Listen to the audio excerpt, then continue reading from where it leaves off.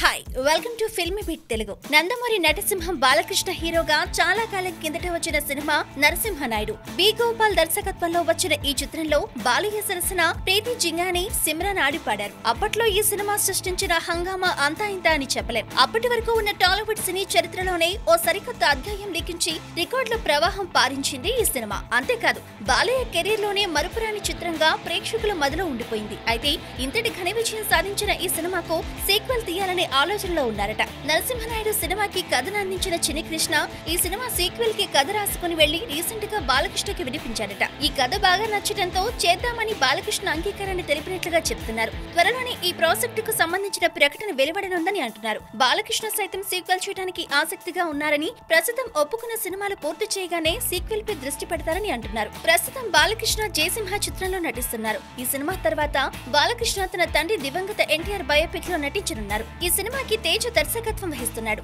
ఈ రెండు సినిమాలు పూర్తయిన తర్వాత నరసింహనాయుడు పట్టాలెక్కుతుందని సమాచారం. ఈ చిత్రానికి సంబంధించిన అధికారిక సమాచారం త్వరలో వెలువడనున్నట్లు తెలుస్తోంది. For more interesting updates keep watching film Telugu please like and share don't forget to subscribe thank you